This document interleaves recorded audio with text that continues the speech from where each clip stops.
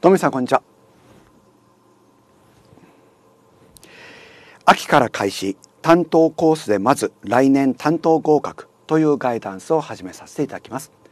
担当いたしますはレクセン任講師の豊岡と申します。どうかよろしくお願いいたします。はいそれではですねこちらですね。このタイトルでねガイダンスを始めさせていただきます。今回このねガイダンスのタイトル非常に分かりやすいですね。もう今からね秋秋ですね今。ね。今から来年の担当を向けてね勉強を始めて担当受かろうよ。ね。そういう趣旨のガイダンスです。でこの後なんですけどもまず前半ですね。前半でまあ鑑定士試験についてざっくりねこういう試験制度ですよってお話をいたします。でその後今度後半ですね。担当ですね。担当。担当一次です一次試験である担当の勉強の仕方についていろいろお話をしてまいりたいと思ってます。で皆さんの中でねもうすでに試験制度についてはもう知ってるよっていう方はねこちらの後半の方ねこちらだけご覧になっていただいても OK です。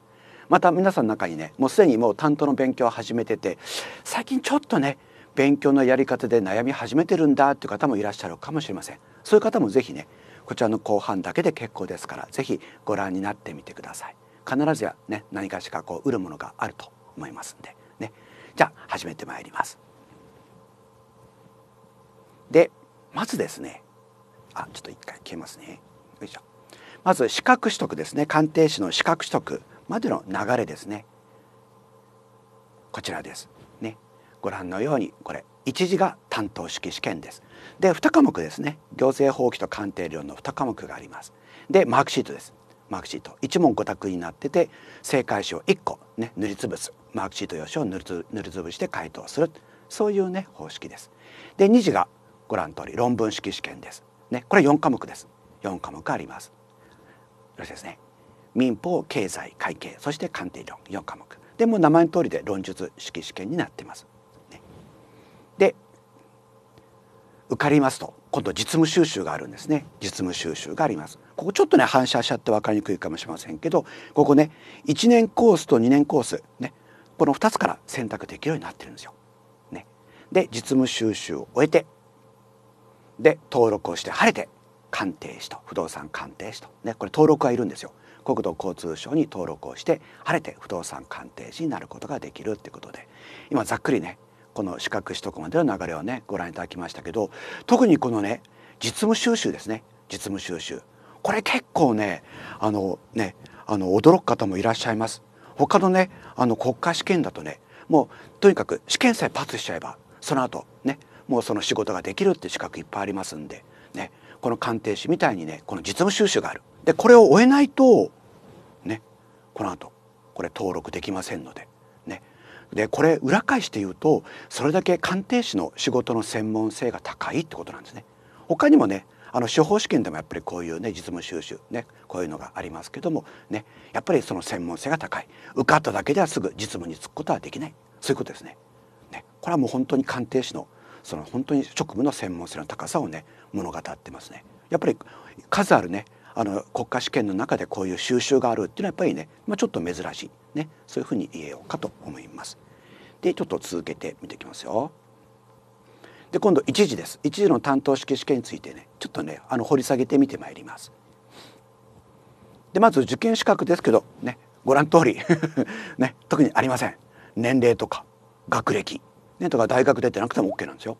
あと国籍実務経験等に関係なく受験ができるとそういうことなんですねこちら。まあ、非常にねあの広いですねこれ門戸が広くね広く開けられているとそんな感じですね。で試験地ですご覧通りですね10箇所です全国10箇所こちらね試験地があります。で科目がさっきもね申しましたけど2科目です。この行政法規っていうのとねあと鑑定論です鑑定論ともにねマークシートです。でちょっと気をつけてほしいのがねこれそれぞれ2時間ずつ回答するんですけどそれぞれね40問ずつ出ます。40問ずつです。ね、これ宅建だとね2時間であの50問出るんですね。やっぱりマークシートですけど。鑑定士はねこれ2時間で40問です。でそれぞれ配点が100点100点。で合計が200点満点。これで合否が決まるんですね。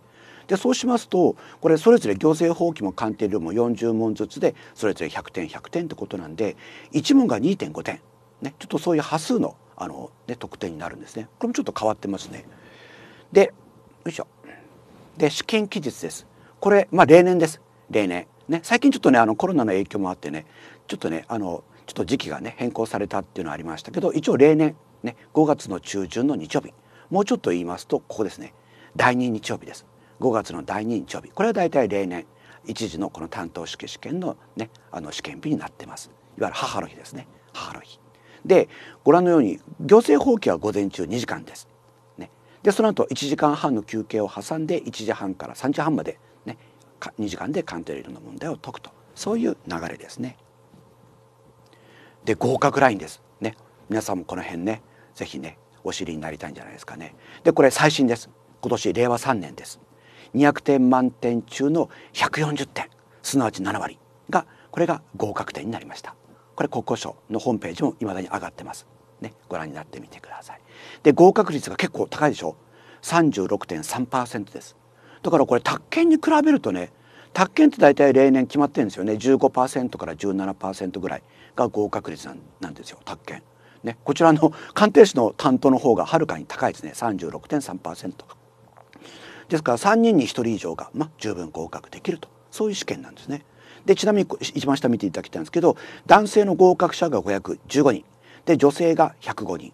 大体まあ例年こんな5対1ぐらいの割合ですね。もうちょっとね女性が増えてもねいいんじゃないかなと思ってます。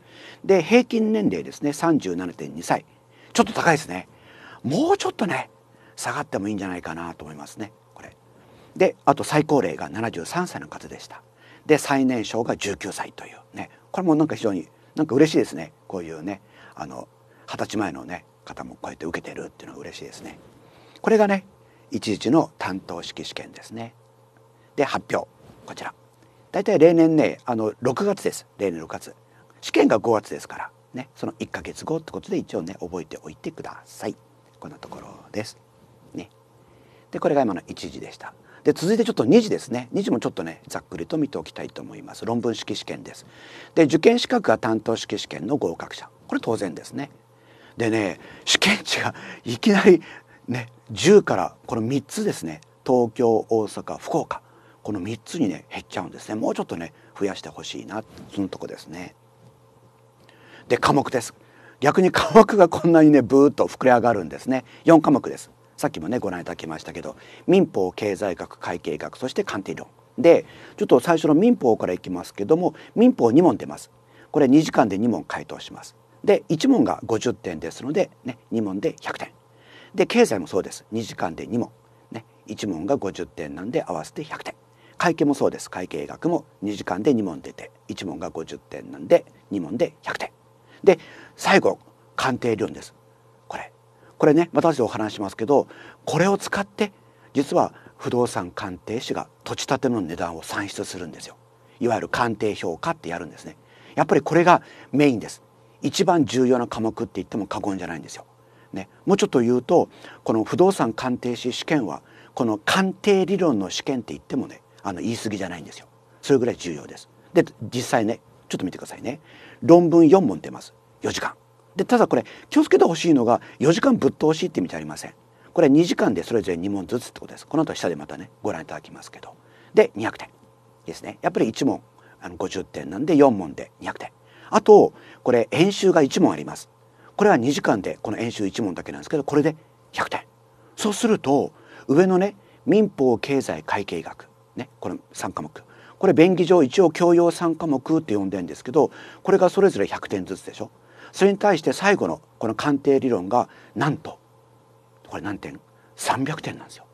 300点。この200点と最後演習の100点。300点。で合計で600点。で600点中の半分の300点がこの鑑定理論ってこと。ですからさっきも申し上げた通りねとにかく配点も高いでしょ。で実際これを使ってねあの鑑定士が鑑定評価を行いますから一番重要な科目ねこうやって試験にもやっぱ現れてるんですね。この配点の大きさにも現れてます。でちなみにここにね書いておきましたけどこれこの後ね3日間3日間でこのね民法から最後鑑定論の演習まで受験生がね回答するわけですけど合計で11問ね11問これ回答する形になります。でちょっとこの後ですねちょっと見てください。試験記述です。でねこれもね例年です。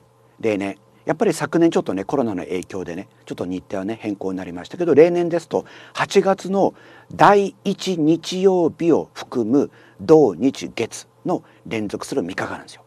3日間。とにかくね8月の最初の、まあ、土日月っていうふうに覚えておいてください。3日間。3日間です。これは。さっきの担当がねあの1日だけだったでしょ？論文は3日間あるんですよ。3日間。で初日1日目。これがまず民法です。10時から12時。さっきの上のね。これね2問ってやつね。これ2時間で2問。これがまず民法です。初日1日目の午前中です。でその後やっぱり1時間半の休憩を挟んで午後から経済学です。1時半から3時半。で初日はこの2科目です。民法と経済学。で2日目の午前が会計学ですこれ。10時から12時。ね。これやっぱりこれですね。2時間で2問回答する。で次なんですよ。この2日目の午後から3日目の午後までずっと鑑定理論です。さっき上でご覧いただいたね。これですよ。論文4問演習1問。これが入ってくるんですよ。でまず2日目の午後です。これ鑑定理論の論文ってやつなんですけどこれ2時間でこれで2問回答します。でさらに次の3日目の午前中もやっぱりこの鑑定理論の論文っていうのがあるんですよ。やっぱり2時間で2問回答します。これはさっき上で申し上げたね4時間で4問だよ、ね、決して4時間ぶっ通しはないよ。って申し上げたその意味なんですよ。ね、それぞれ2日目の午後と3日目の午前2時間ずつでこの鑑定論の論文、ね、これを回答いたします。で最後3日目の午後これが鑑定論の演習ってやつでさっき上でご覧いただいたこれですよ。1問だけ。1問だけ。これ100点です。ね、これやっぱり2時間で回答するとそういうねあの仕組みになってます。まあ、結構ね3日間ってことでね結構ハードですね。で合格ラインです合格ライン。でこれまだねあの今年令和3年のねあの論文の発表を迎えてませんのでこれ昨年です令和2年。ね、でちなみにこれ600点満点で去年ちょっとねあのいろいろあの経済学で没問とかもあってねいろんなことがあってまあこれね、まあ、ちょっと高めですね380点ね6割ちょっとですね6割ちょっと。一応国交省がねあの受験案内の中でねあの論文は論文はおおむね6割をねあの合格点とするというふうに歌ってるんでですからまあ一応ね600点中360ぐらいがね大体一応の目安と思っておいてください。さにちょっとねちょっとイレギュラーで、ね、経済学でちょっとね没問っていうのがあったんですよ。ね、そういうのがあってちょっと受験生にね一律に点数を与えたってことで結果的にねちょっと合格ラインがこんなふうに上がっちゃいましたけど一応6割で覚えておいてください。ね、さっきの担当が140でしたね。7割、ね、論文は6割。これ覚えておいてください。でちなみに去年の合格率17.7%でした。これ一応ね鑑定士の前この2次が、まあ、いわば天王山なんですけどこれ合格率皆さんご覧になってみていかがですか？確かにね確かにこれね3日間でこれだけ4科目。で11つの答案書き上げなきゃいけないってことで確かに大変は大変なんだけど他の国家試験の合格率と比べると決してそんなに低いわけじゃないですね。あの合格率が一桁の国家試験なんて他にいくらでもありますから。そうでしょだからそういう点からいくとねこれは決してそんなにね極端に低い合格率ではないですね。でちなみにこれも一番下ですね。これも昨年のデータですけど男性の合格者論文ですね。116名。で女性が19名。やっぱりまあ5対1ぐらいですかね。でこれ去年ですけども平均の合格者の年齢が32.6やっぱりねちょっと高いですね。これ2次です。最終合格者32.6歳。で最高齢が61歳。で逆に最最年少の方が20歳ってことでしたね。これが昨年のあの鑑定士試験でした。いかがでしょう？こんな形でね今ね1時と2時ずっとねご覧いただいたんですけども。でさらにですねちょっと続けまして今度こちらですね。この鑑定試験の大きな特徴についてこれもちょっとねお話をしておきたいと思います。で今現在です。2021年秋です。今現在。いいですね。でこれ右からあごめんなさい。左から右にね左から右に時間が流れていくと思ってください。これ時系列です。で来年5月です。2022年5月。ね。この担当式試験が行われます。で晴れて合格すると。ですね。この一時の担当にねこれ一度でも担当に合格しますと次の二次試験論文式試験ですね。わかります？これ。いきなりなんか日付が3つ出てきたんですけどこういうこと。3回受けられるんですよ。論文式試験。この2次の論文式試験。一度担当に合格すればその後論文を3回受けられる。ですから当然担当は受けなくていい。そういうこと。ですからこれちょっと見ていただきますとね来年5月担当式試験に受かると来年の8月ねでその次さらにはその次って形で202223そして24年まで論文受けることができます。でちょっと気をつけてほしいのが例えば来年ね5月の担当に受かった。そしたら来年ね仮にこの2022年の8月論文式試験を受けなかったとしても受けたっていうふうにカウントされちゃいますから。これはちょっと気をつけておいてください。要するにいわゆる受け控えができないんですよ。来年受かっただけど論文全然勉強してないということで受けない方も結構いらっしゃいます。でも受けなくても来年ね2022年の8月は論文受けたよそういうふうにカウントされてしまいますんでこれはちょっとね気をつけておいてください。よろしいですね。で今ねずっとこの試験制度ねご覧いただいてますけどもじゃあちょっとね今度もうちょっと具体あごめんなさいこれですね論文合格ね大体ね最近ですけどもねあの本試験もかなり基本的な問題が出るようになってきてますんでね大体論文3回くらい3回くらい受ければねちゃんと真面目に勉強すればですよ。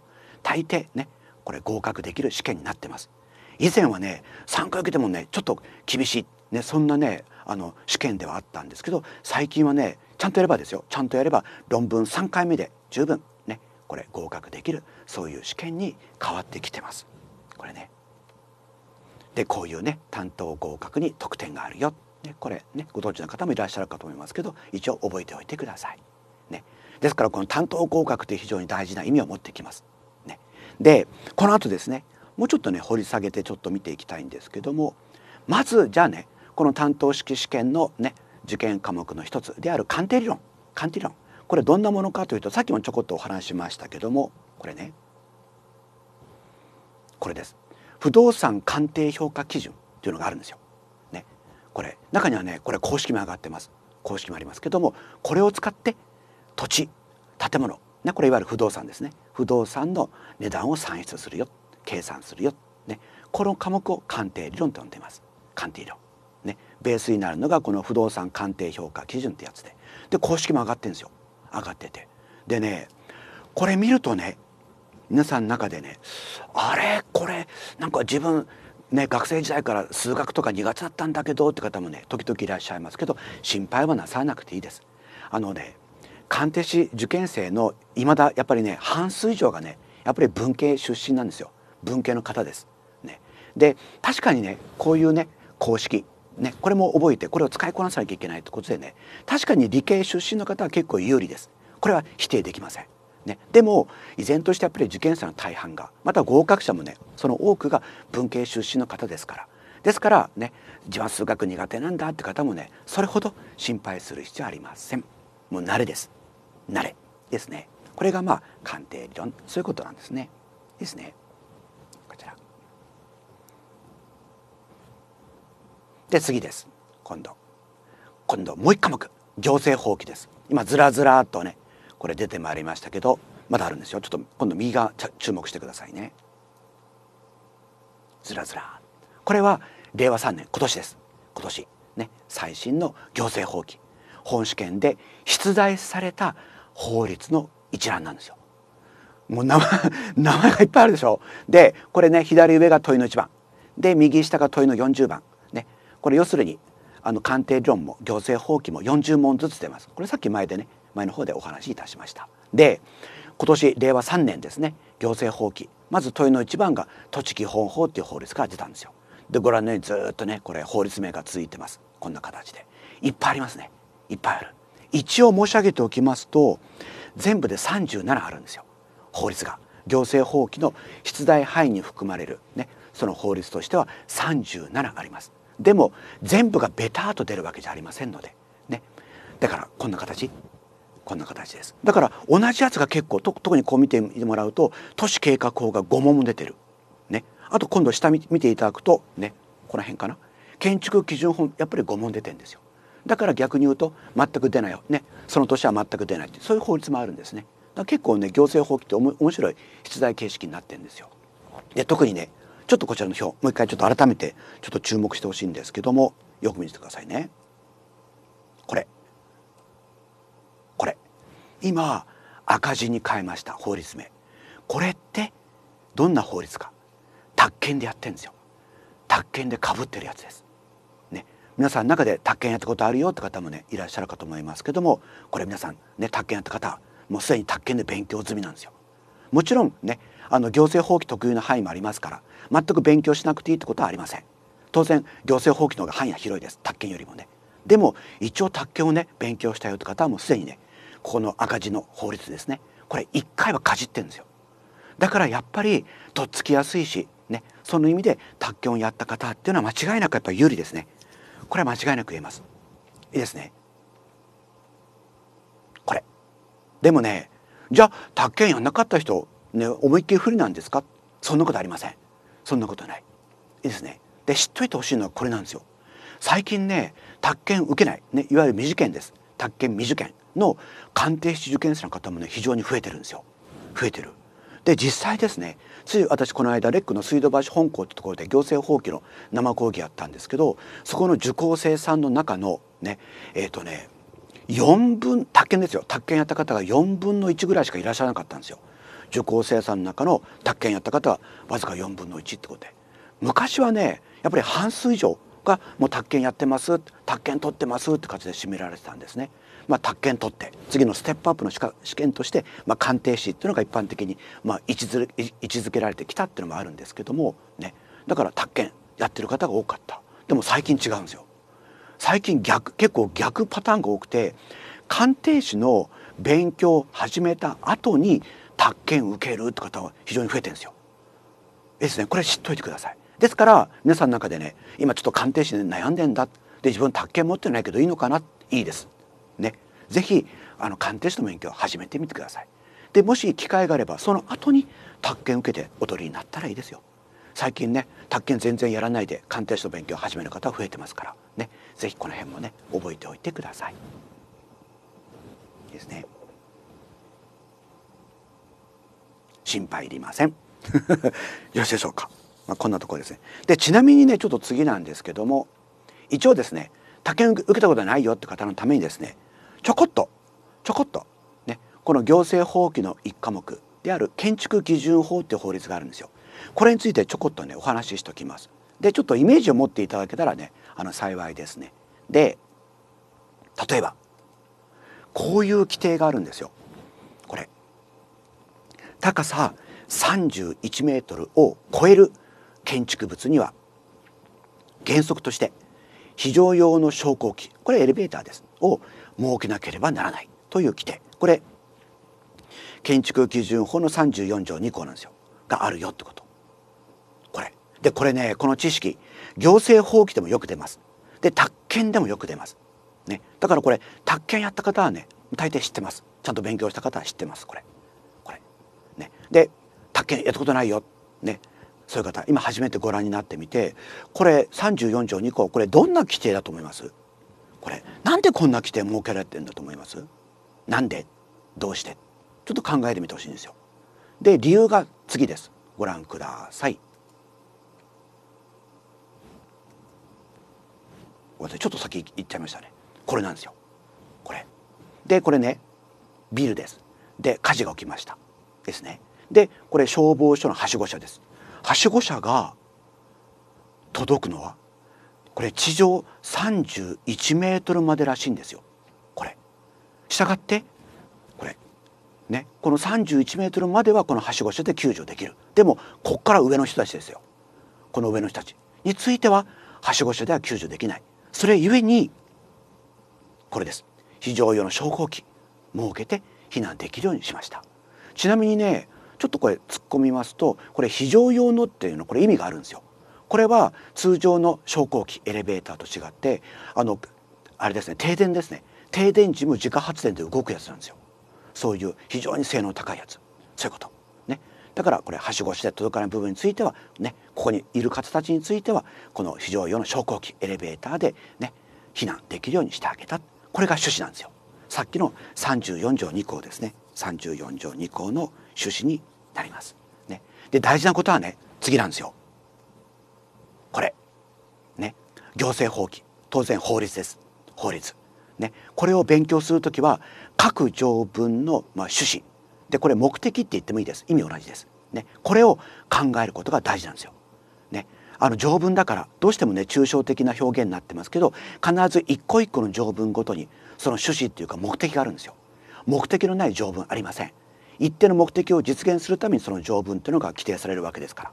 ね。でその条文の趣旨に遡って考えるとねその条文自体はね非常に抽象的であってもねその意味が分かればあ結局こういうことなんだねってことでねその知識も頭に入れることができます。当然問題を解くこともできるそういうこと。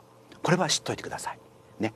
法律を勉強する時は条文の趣旨あるいは目的これをしっかりと理解して覚えることが大事だよ。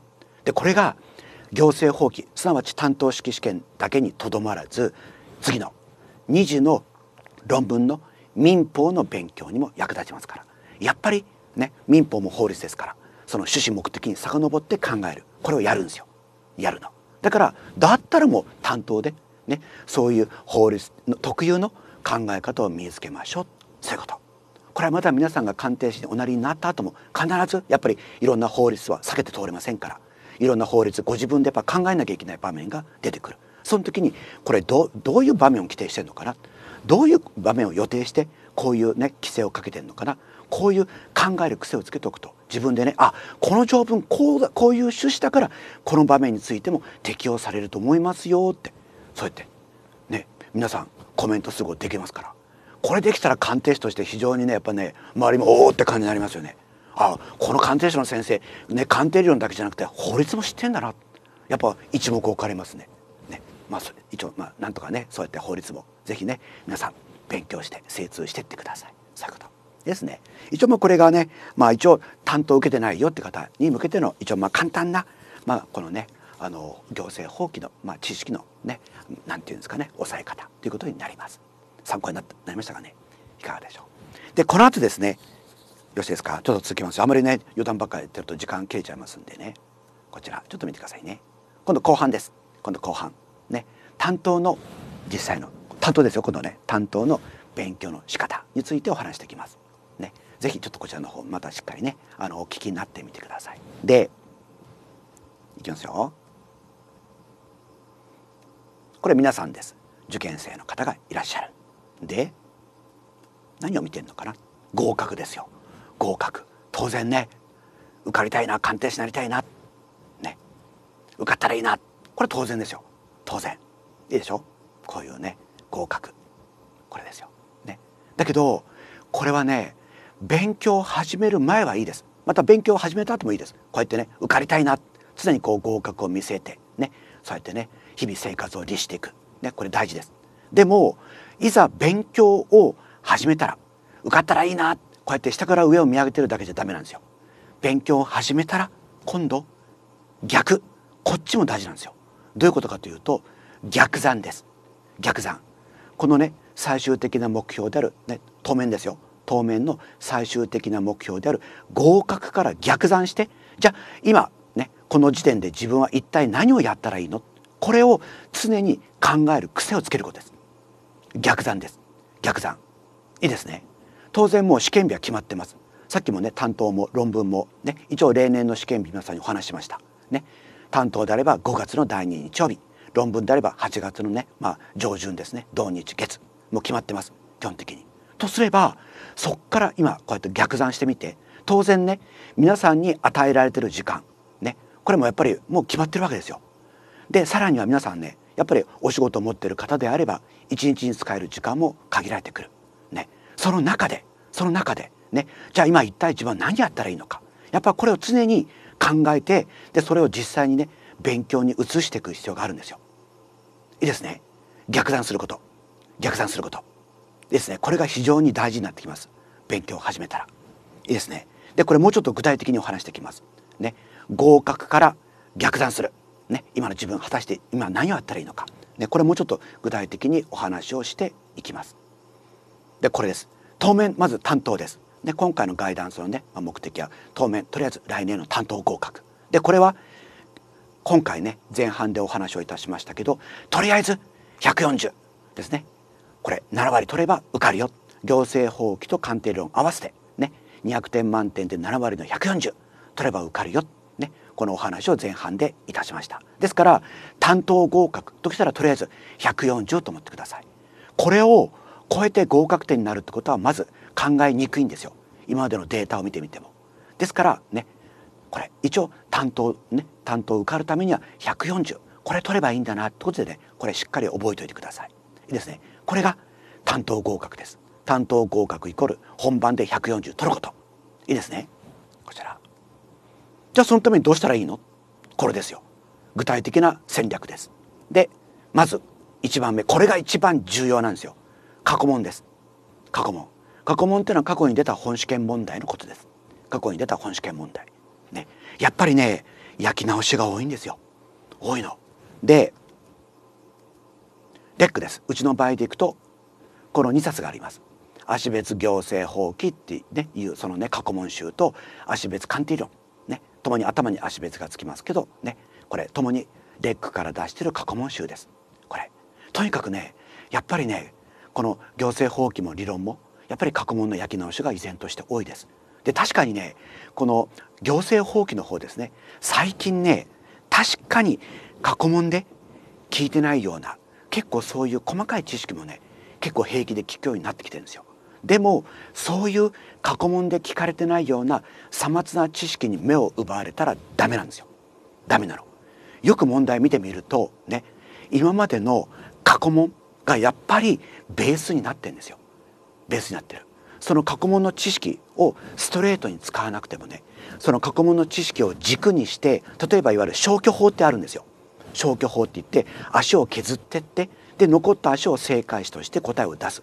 ね、こういう消去法っていうやり方があるんだけど過去問の知識ですねしっかり固めておくとそれをベースにして消去法で一応答えが出せるような仕組みにはなってんですよ。最近のこの難しいって言われてるこの特に行政法規でもなんですよ。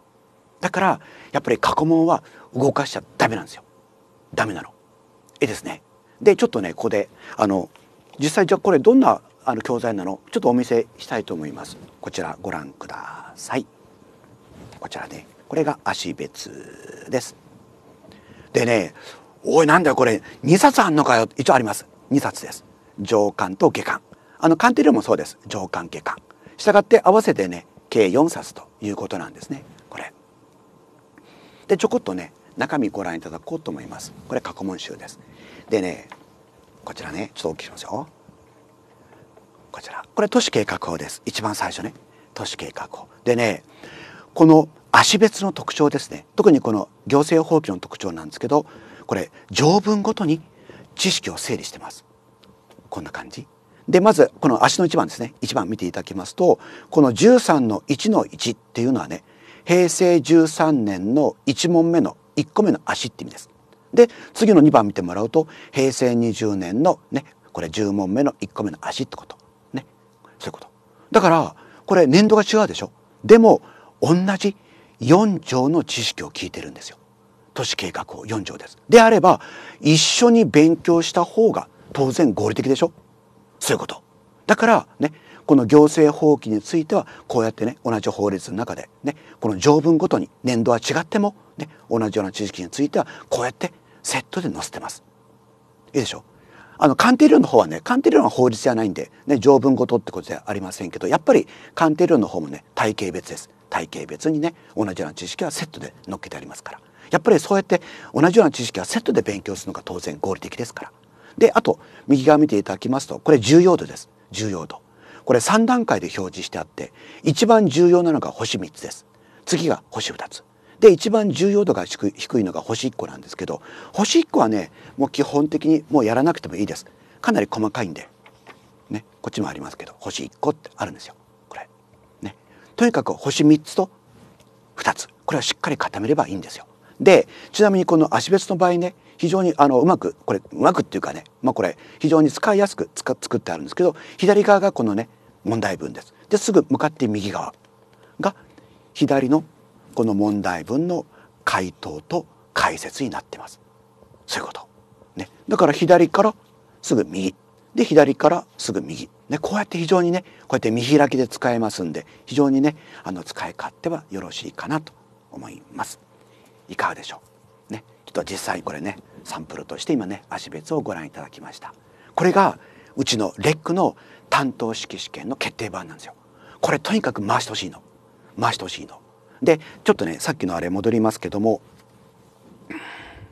こちらね。よいしょ。こちらね。戻りますよ。レックの場合この足別があるよ。過去問集です、ね、でやっぱりね最近特にこの行政法規ですね。行政法規が結構難しくなってきてるんですけどやっぱりね実際今年令和3年です。今年令和3年。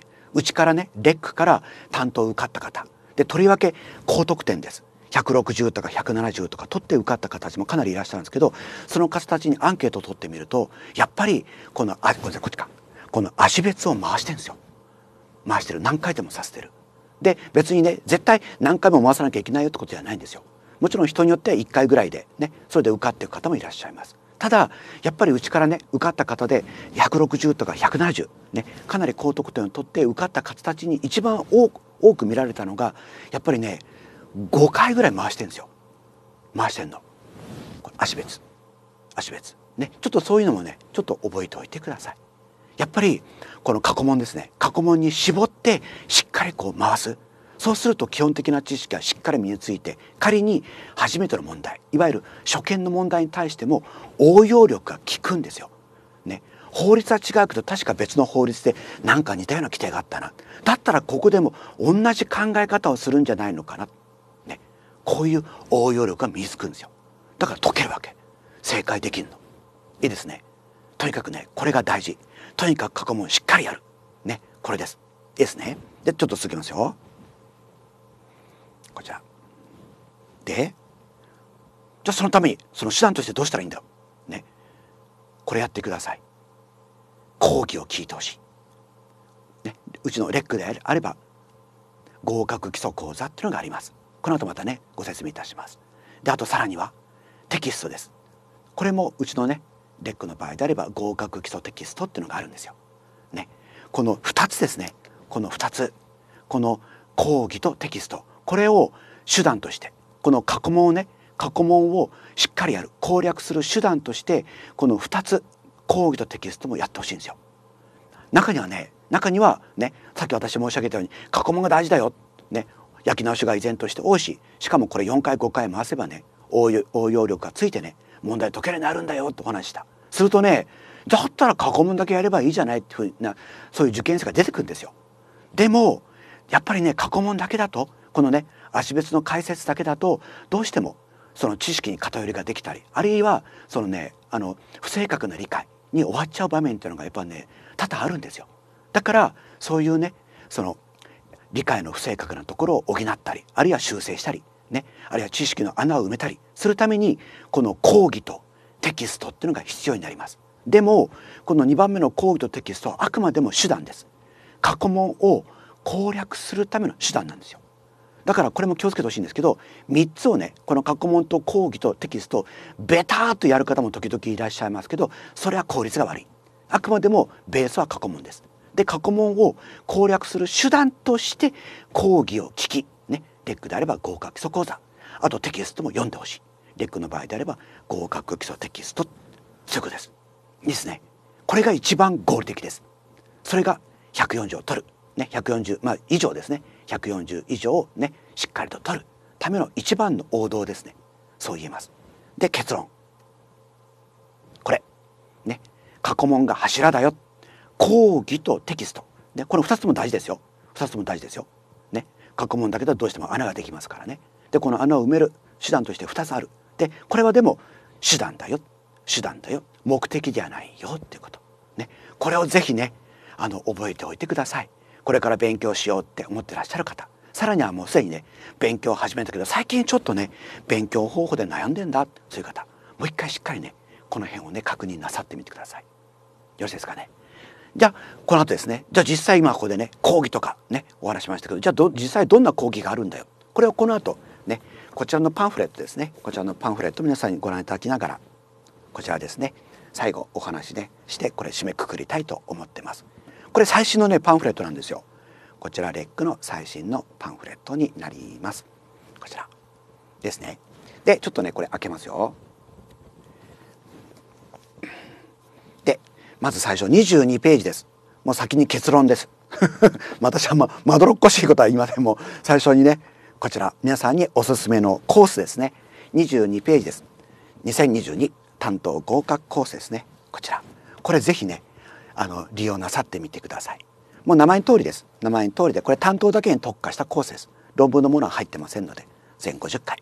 でちょっと見ていただきますとねこれ一番最初にやります。インプットです。インプットの講義です。合格基礎講座で全34回になってますけどこれねこれ内訳がありまして鑑定理論が20回。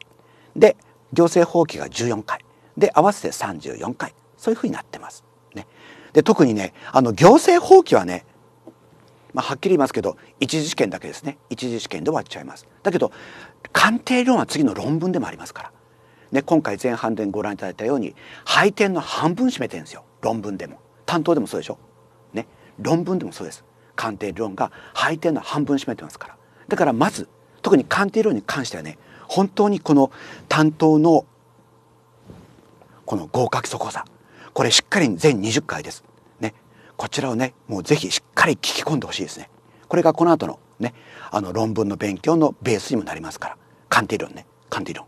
まあ行政法規も大事ですけど行政法規も担当で終わっちゃいますからね論文では出てきませんから。でこれが最初の一番最初のインプットです。で次がこちら。これ行政法規だけです。ね、例年行政法規の場合改正がありますから。ね、でこれ全1回ということでこれ1コマ2.5時間です。全1回2.5時間。ね、これもぜひねお聞きになってみてください。でちょっとね最初もうあらかじめちょっと予告でお話しちゃいますと今年ですね今年の最新の改正点はごくわずかです。あんまり神経質にななくていいです。ね、各法律ごとにちょこちょこねあの最新の令和3年ですねの改正はあったんですけどそんなにねドッカンっていうような大きな改正ありませんので、ね、ですからあんまりね神経質ならず一回ねこれ聞き聞いてみてください。でこれが終わりますと今度ね総まとめでこれも全8回になってますけどこれもね行政法規鑑定論それぞれ4回ずつです。ね、最初にやったこの合格基礎講座のまあダイジェスト版ダイジェスト版と思ってください。もう名前の通りでまとめです。まとめ。でその後いよいよ今度アウトプットが始まります。担当実践答練これも行政法規と理論それぞれ3回ずつの計6回です。ね、一種の模擬試験です。で最後ねこれ全国公開模擬試験これ全1回です1回だけ。ねこういう流れになってます。で本試験にね皆さんに挑んでいただくとこういう流れですね。でこれ全部合わせますとねこちら全50回ということで結構ねこの担当合格コースってことでね担当だけではあるんですけど結構盛りだくさんです。こちらですね。でも逆に言うとこれしっかりこなしていただければ確実に担当合格、ね、することできますんで是非ねこれからね担当やろうかなね、この担当合格コース利用なさってみてください。であと,、えーと、論文ですねちょっと自分はまだちょっとね時間的余裕があるからちょっと論文もちょっとやってみたいんだって方はねこのパンフレットですけども18ページですね18ページ開けていただきますとこの担当論文フルコースっていうのがあります。これフルなんで一番回数多いんですよ。これね担当のねこの今ご覧いただいた、ね、この講座だけじゃなくて論文もこれ同時並行で、ね、こんな感じ同時並行というかねこの形で並行してねやっていただく。非常にボリュームのあるねあのコースになってます。これがまあフルコース。でちょっとこれフルはちょっときついなっていう方はね次のページですね。20ページにやっぱり担当論文のコースがあってこちら基礎コースです。でこちらは基礎ってことで回数が若干減りますんで、ね、あのフルコースよりはねあの基本的な講座だけになりますんで。特に論文ですね。論文の方がかなり絞られますんで、ね、どうしてもやっぱりね論文もねちょっとやってみたいんだって方是非この辺もねちょっとあのお考えになってみてください。ね、でも基本はねとにかくこれ。ね。とにかく論文合格コース。ね。あごめんなさい担当合格コース。とにかく担当に受かればね論文3回受けられますんでまずはとにかく担当合格目指してみてください。であとこのパンフレットですね。もし機会ありましたらね実際お手に取ってねご覧いただきたいんですけども。えっ、ー、とねちょっと後ろの方を見ていきますと。こちらですね。結構ねこれ盛りだくさんです。あとテキストですね。これパンフレットの28ページにねさっきお話をいたしましたこの合格基礎テキストのサンプルも上がってます。こんな形で、これ鑑定論ですね。鑑定論テキストのサンプル上がってます。あと右の29ページの方。こちらにこちらにもね足別ですね。足別のねこちらね。これサンプルが上がってますね。さっきね行政法規についてはね現物をね皆さんにご覧いただきました。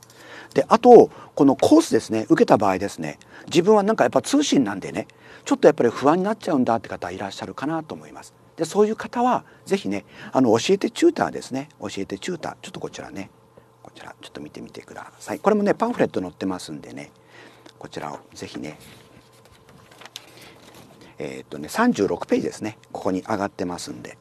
これインターネットのね質問制度なんですよ。教えてチューターって言って。これ回数制限ありませんのでね。あの本当にねあの勉強の中身から。また場合によっては勉強方法でも構いません。ね、あのいろいろね疑問になったところをね遠慮なくこのねインターネットの教えてチューターでねあの質問を送ってきてください。よしですね。回数制限ありませんので。ね。こんなところです。いかがでしたでしょうか？ね。一応ね一応来年の担当向けてね勉強始めようよ。そういう趣旨のね、まあ、ガイダンスであったんですけど結構論文についてもねまあ、結構お話をいたしました、ね、今ちょっと考えてるんだという方是非ですねこの鑑定士目指してみてはいかがでしょうか、ね、じゃあ以上で終わります。ありがとうございました。